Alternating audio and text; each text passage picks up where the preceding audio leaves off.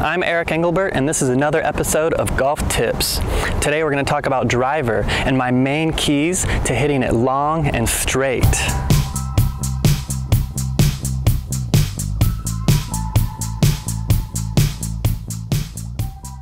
I went from a 10 handicap to a plus 3. These are some of the things I learned along the way. I'm Eric Engelbert, and this is Golf Tips.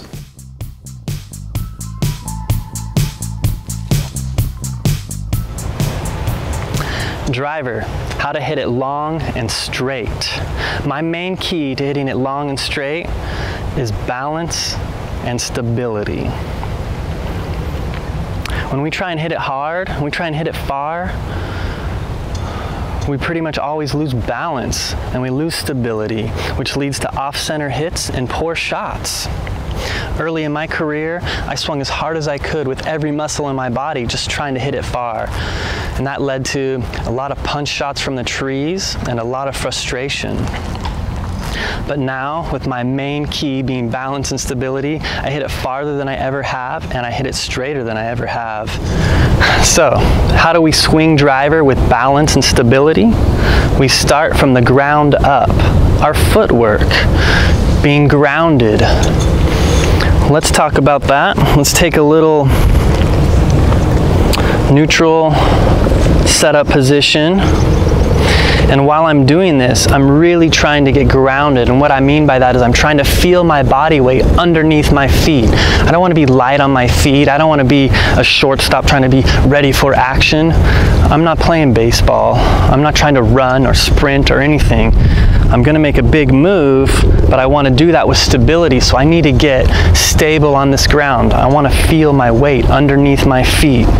So then I do a little bit of a hip bump towards the target, got some spine angle now, and I'm feeling 50-50 weight distribution between my right and left foot. And I kind of want to stay there until the top of the swing. If anything at the top, I might get a little bit 60 to 40, 60% on the front, not on the back. Right now in my backswing, I'm using my core, I'm using my legs to stabilize my body so that I don't sway off of it, right? I'm not a believer of loading up into it and then lunging into it this way. There's too many moving parts. It's so hard to hit the sweet spot when you're moving like that. So I'm going to be grounded as possible and stable as possible. My stomach muscles, my core, my legs, they're all engaged. Even though I'm relaxed, they're engaged, but to keep me still. So I'm staying 50-50 all the way to the top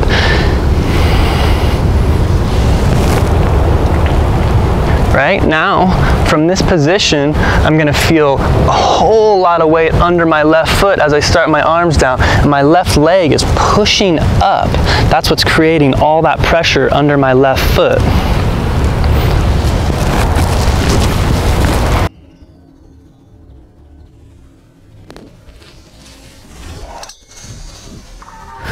So when I make that swing, you don't see, you actually see this hip going that way, right? It's not going this way so that I load up into my right side and then boom, that's like Happy Gilmore, right? to have good contact and consistent contact and to be able to predict the swing path and the club face at impact, we need to be stable during the swing. So engage your core, engage your legs, and use your arms to move the club.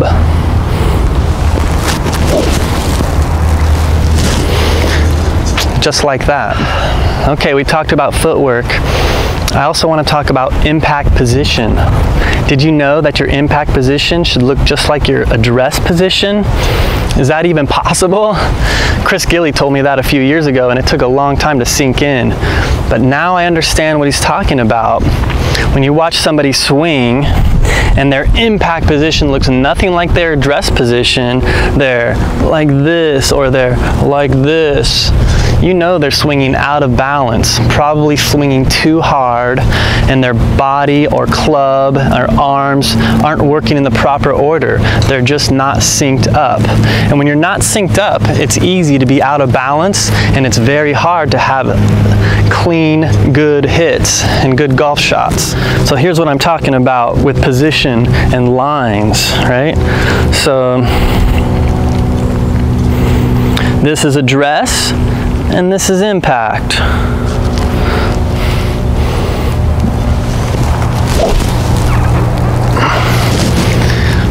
I'm matching up the body lines. I'm in a very similar position at impact than I was at address. Well, a good golf swing is what I like to call a blended golf swing where your arms, your core, your legs, your feet are all working together to create a smooth application of power at the ball.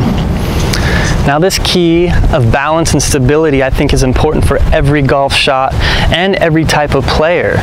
If you're somebody who swings a little bit over the top, or if you're somebody who swings under the plane and sometimes gets stuck, no matter what kind of swing you are, having balance and stability will help you get back to center, will help your impact position mirror your address position and help you hit better shots. So we do talk about grip a lot. We talk about swing plane and face angle and all that stuff but it starts with balance. Those things are secondary.